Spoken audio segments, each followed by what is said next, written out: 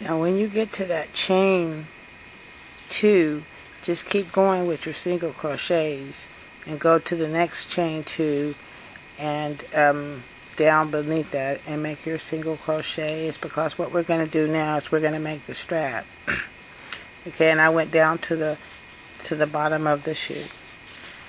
And I'm going to go into that single crochet stitch right there at the bottom right there. And I'm to make a single crochet and I'm to turn my work. Actually I need to chain one and turn my work. Now because this was the right shoe and I'm making the left shoe. Um, I ended up on the right hand side. Okay um, and I'm going to to to make the the strap that's going to come back around and fasten here. Okay but if you were making the slipper and um, and you in here you're going to go ahead and fasten off and then pull up your um, your loop right here. And I'm going to show you how we do that. You would pull up your loop and tie it on weave in your end. And so but I'm going to single crochet back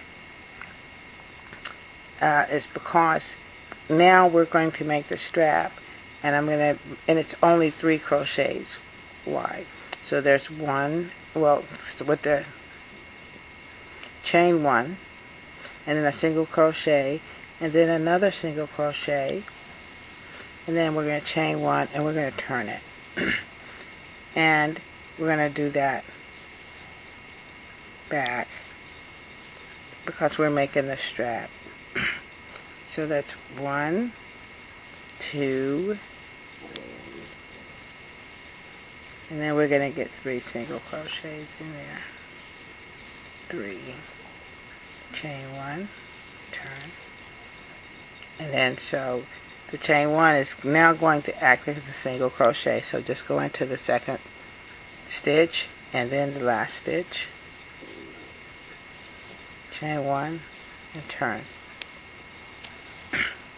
Turn your work back around. Skip the first one because you have the chain one. Go into the the second stitch. Make your single crochet. And then the last one chain one and turn. Skip the first one, go into the second one, and then you're going to do that and it's going to measure, let me get my measuring tape for, you might want to measure your your length your leg um, of what's comfortable for you. Where's my measuring tape? Um, and I'm going to try to measure this. But that's probably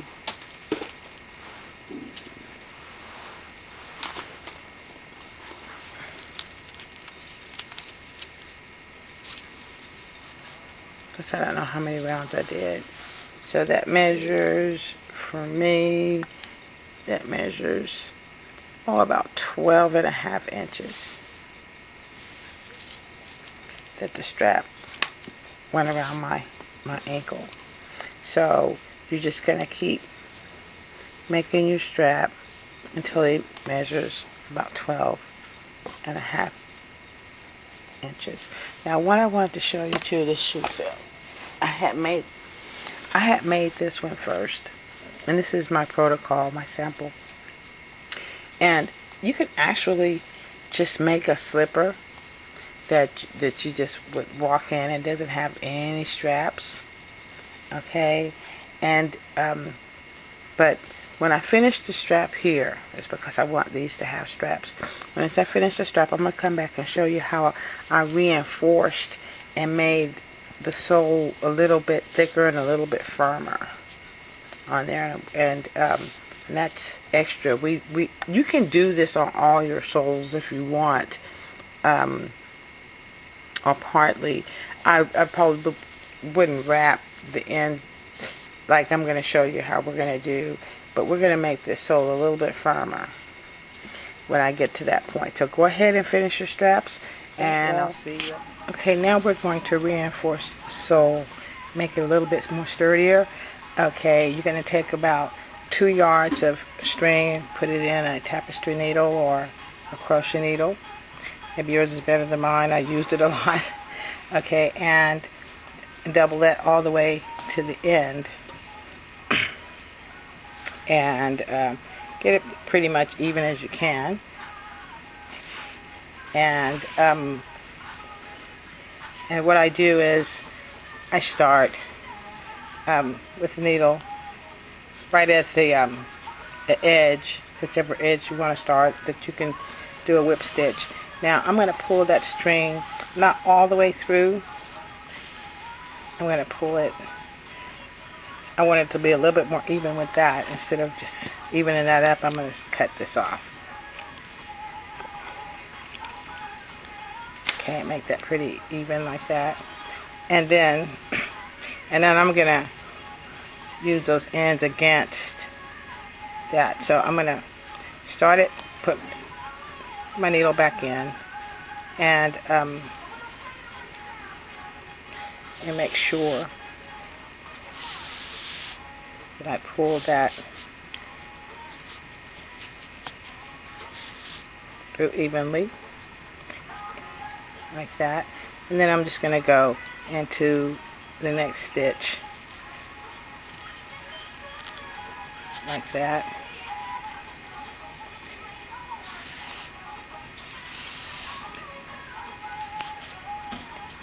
And then as I go around, those ends will be tucked under the whip stitch. And then when you see that, you're going to see it's kind of um, a reinforced type, type of stitch around the edge. And it'll actually make that heel a little bit more reinforced.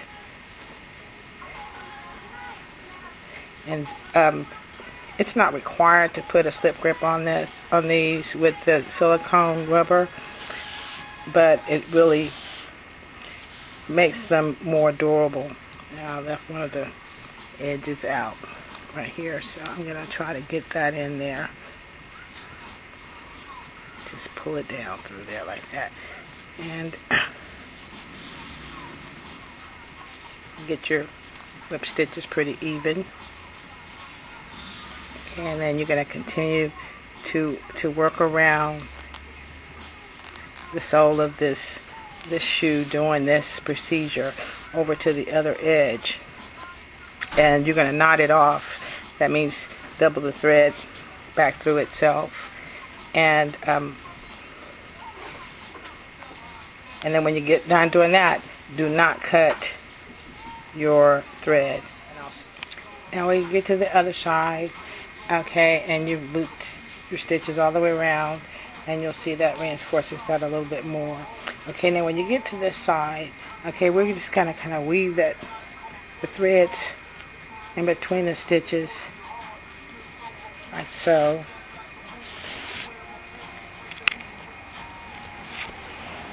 And um, till we get to that center stitch to that center opening see those little gappies there? Okay and then we're gonna just kind of do the same thing we're gonna do a whip stitch and cover those up. Don't pull them too tight but don't leave them too loose either. Okay and you're going to cover those little gappies up. And then you're going to have a, a little um, whip stitch down the center